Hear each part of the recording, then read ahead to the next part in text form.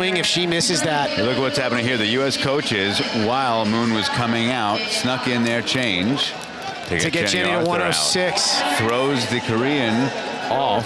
And we've seen a lot game. of that this yeah. week. Yes. It's a valid move. It's part of the strategy. So now Arthur would move into second place. Don't forget, the leader out of the B group did 108. So this would move her into second place and position her very nicely heading into the clean and jerk. And I think this is a play for the total.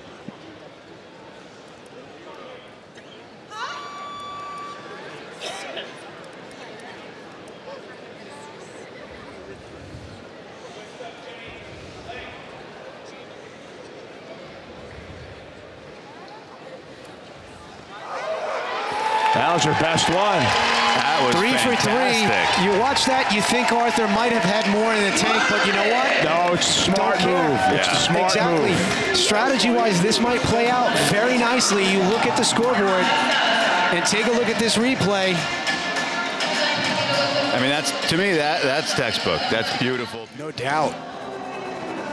Jenny Arthur looking not only to end up on the podium in some fashion, but also Robi points, points that will help determine Olympic qualification, or that count toward ultimate qualification. this one right here is, is an important lift if you want to set up for a medal. Mm-hmm.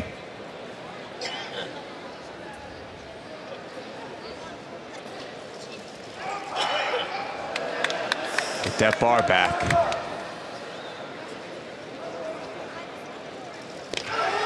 Yes, good lift. Great lift.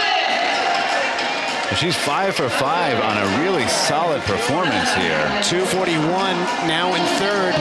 And this was probably easier than the opener. Yes, I agree.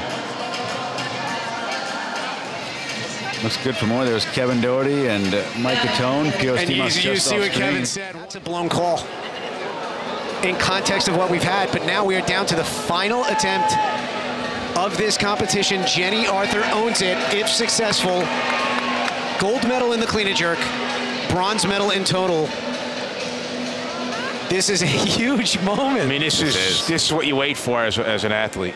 This would give her a 244 kilo total.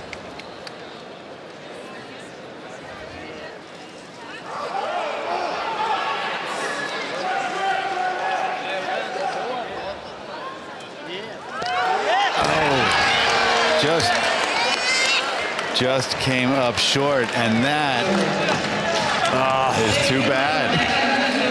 Well, and that is a fourth place finish across the board.